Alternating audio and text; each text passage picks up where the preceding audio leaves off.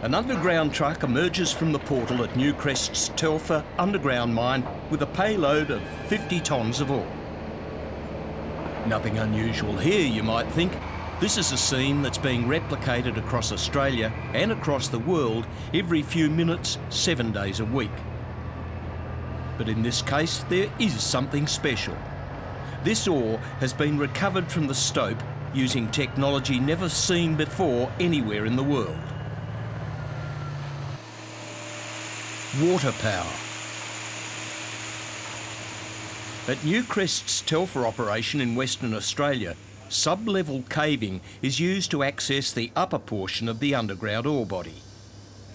Paul describes primitive stope cleaning using scrapers. The older system required at least um, a shift, half the, nearly a shift's worth of setup, and it, it required two guys, so 24 man hours to set up. Also required either the use of the jumbo or the air leg to drilling pinholes for the cable and also to anchor the machine.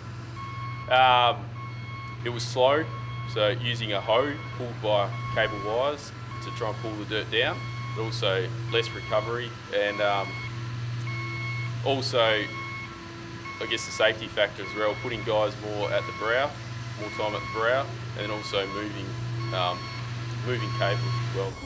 To improve productivity, Paul investigated other options, which included using high pressure water jets to force the ore and spoil down the stope. Water cannons like this are widely used in block cave mines worldwide to dislodge hang-ups, and Paul reasoned that the technology could be adapted to suit the relatively shallow stopes encountered at Telfer.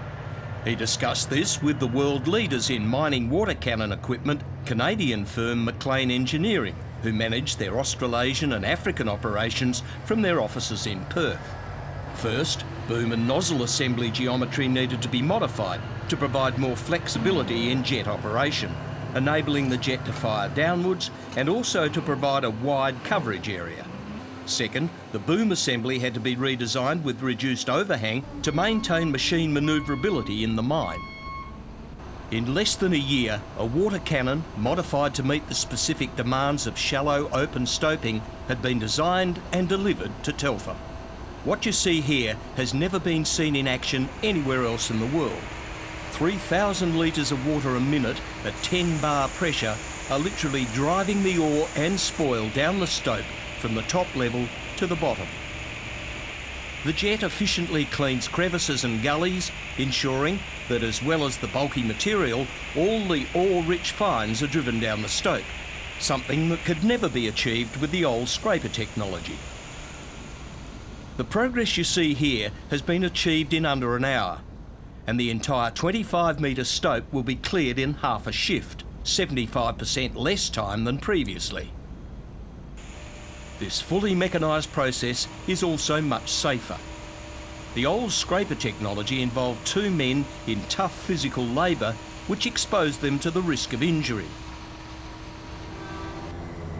Well, it's made the most inefficient part of the cycle into the most efficient. Well, as with any new machine, when it first gets to site, there's a lot of scepticism about the, how, how it will work. But immediately it showed its worth and its weight in gold. Water power it's bringing new standards of efficiency and safety to long hole open stope mining.